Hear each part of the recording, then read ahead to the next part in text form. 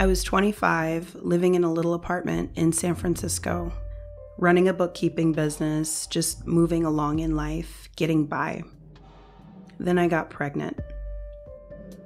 When I was ready to go back to work, of course, I needed someone to take care of Xavier.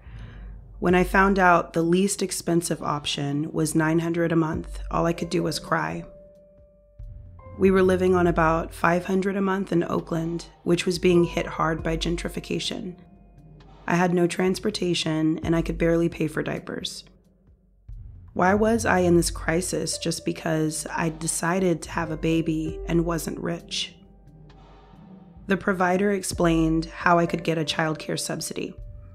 She told me exactly where to go, who to talk to, how to get through the systems. I got the subsidy and worked my way from a part time to a full time job as an accountant. Then there were state budget cuts. Some of the rules on funding for childcare changed, and suddenly I was making too much money. I'd have to pay $1,200 a month.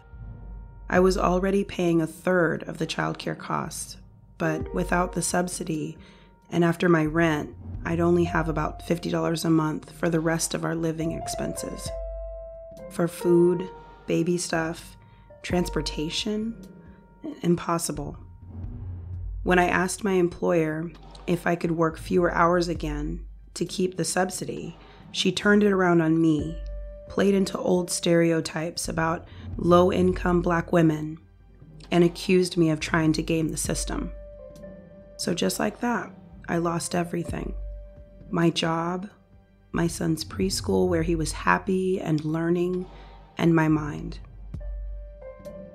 Childcare is like air.